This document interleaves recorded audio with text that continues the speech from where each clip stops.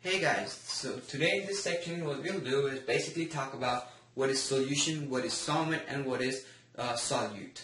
So as you guys can see, if you have a mixture of water, which is a solution as you might know it, and solution basically has happens because of two little parts, that is solute and solvent. So let's go ahead and explain these terms in detail while taking an example. So let's take an example. For example, if you have a beaker like this, and if you add salt to it, as you guys see. Now I made the salt looks like black dots, as you guys can see in the diagram over here. Now, if you can see the diagram, there's a water involved. Now, the hardest part is basically telling what is solute and what is solvent. Now, because of that, we have definitions around. So, because we don't know anything about solute and solvent. Now, solvent, let's look at the definition.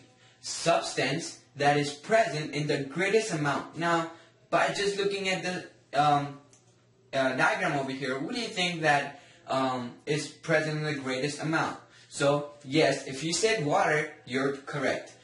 Because water is present in um, greatest amount, it's because it's halfway filled through it. Now, if you take pour salt and salt, keep pouring salt until it comes over here, it's still going to be a solute. Why? Let's go ahead and look at the definition substance that dissolves in solvent. Well, what is solvent?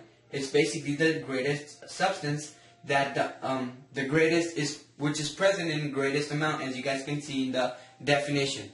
Now, it can we can reciprocal this definition or flip this defini uh, definition around of solute and basically put it in a solvent. That is substance that dissolves in solute.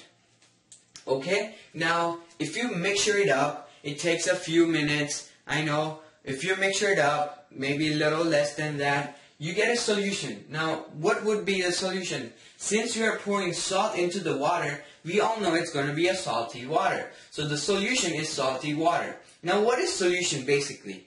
Let's go around and find the definition for solution.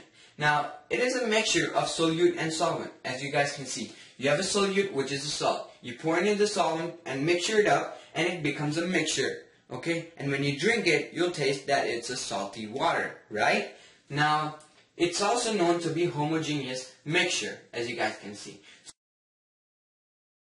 This over here, what you just said, is basically talking about the solute, uh, sol solution solvent. Okay? Now, I hopefully to uh, try to make you guys understand these terms behind me and I showed you these terms by giving you an example and telling you what the solvent is and in this case like we said the solvent is water because it's present in the greatest amount solute is the substance that dissolves in the water that is the reason why we, we call it salty water you see so you can make by salty water which is the mixture which is also known to be solution of this solute and solvent it is a mixture of solute and solvent. It's also known to be homogeneous mixture.